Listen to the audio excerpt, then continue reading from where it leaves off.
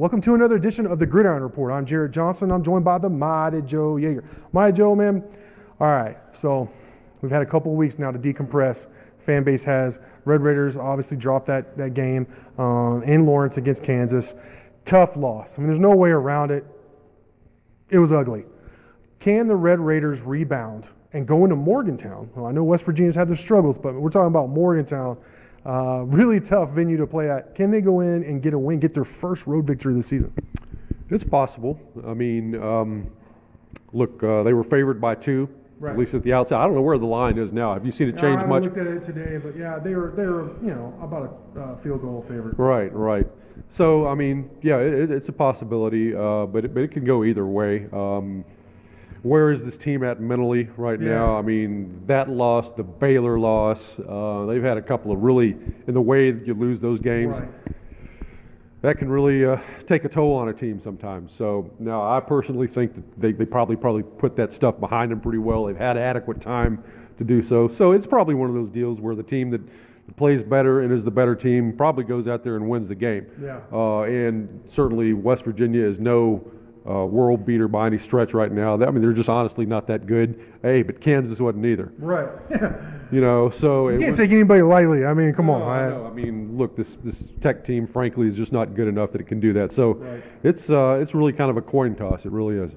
Yeah, I think this is big for the coaching staff, big for the program. They need a W. Sometimes you just, I mean, it doesn't matter how it comes, who it comes against, you need a W. And that's where I think this program finds itself after that, that tough loss to Kansas. Now, initially, I saw this really as a coin toss. I mean, these two programs are in a very similar position on, on s- uh, several different levels, in- including both being three and five and having lost several games in a row. That being said, I think Tech has a little bit of an advantage at the quarterback position. I like Jett Duffey better than I do Austin Kendall, to be honest. But I, I would say that West Virginia probably has a better defense right now. Mm-hmm. So I, it was a coin toss, and I, I've been predicting I think West Virginia is going to win. But then I talked actually with West Virginia's publisher, uh, EerSports.com, uh, earlier in the week, and they lost. They've lost 15 starters. They have, they're down to 15, uh, down 15 starters this week. So if Tech was ever going to win a road game in the Big 12 uh, this year, this was it, right? I mean, this would this would have been it. So uh, you know, everything's set up coming out of the bye week. Um, you, have, you have the advantage in the quarterback position. They're beat up.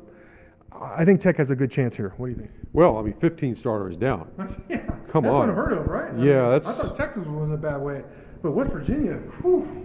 I don't know. There was one year I think under Tuberville where Tech was just ravaged by injury, similar to that, you know. But yeah, you just don't see that very often. I mean, the main thing that you have to worry about, at least I do, uh, with West Virginia is there's their front line on defense. Uh, Yeah. They got the Stills brothers. Now, assume those guys no, they're gonna play. They're going to play. Well, if those guys are in there, Yeah. then you got something to worry about. And so my deal is Texas Tech's offensive line uh, has been up and down all year, like just about every position group on the team. Right. To be perfectly honest, when they're good, they're pretty good. But when they're bad, they're pretty bad.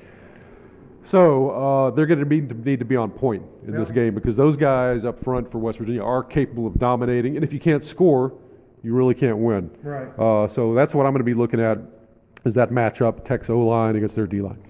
All right, Mighty Joe, 11 o'clock kickoff Central Time, Texas Tech at Morgantown against West Virginia. Great opportunity to get a W, get back on the right track. Great stuff from you as always. Thank y'all for watching, and until next time.